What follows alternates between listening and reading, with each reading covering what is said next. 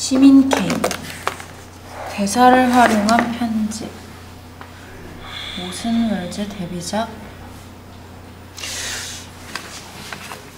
우리 진실 게임 할까?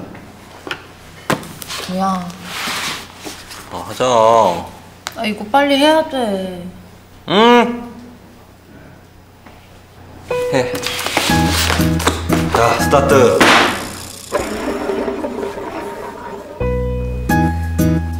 이상형은? 난 안경 쓴 남자가 좋더라. 뭐 지적해 보이잖아.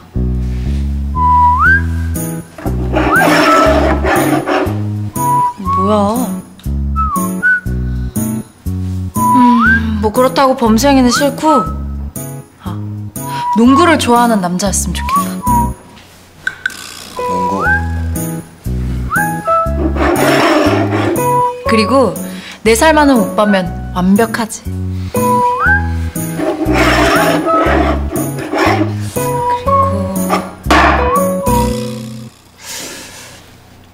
안경도 안 쓰고 농구보단 축구를 더 좋아하고 너랑 동갑인 남자는 안 되냐?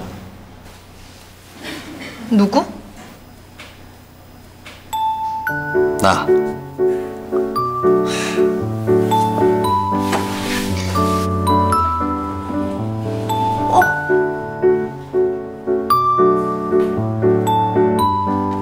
농구엔 관심을 좀 더 갖도록. 난 남자친구랑 농구장 가는 게 소원이었단 말이야.